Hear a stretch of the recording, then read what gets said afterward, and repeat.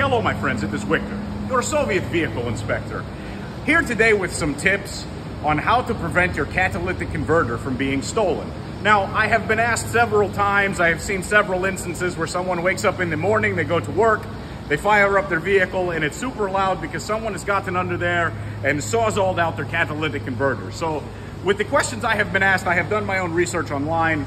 I have seen various things that people have suggested from parking their cars in different locations every night to actually welding rebar to the exhaust pipe.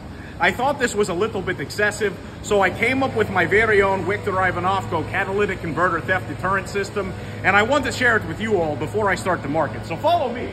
What I am doing with very simple system is I am attaching a cable and I will be using weld. We are going to get the cable attached to two sides of the port, or two, two sides of the pipe, so that way when someone cuts it, it will pull this cable.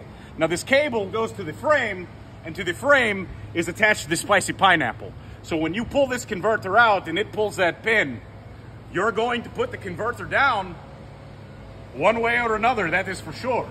The good thing about this system is, is not only is it the deterrent, if it does not work as a deterrent, it will definitely work as an alarm and it will alert you that someone has tried to steal your catalytic converter far before you wake up and try to leave for work the next morning.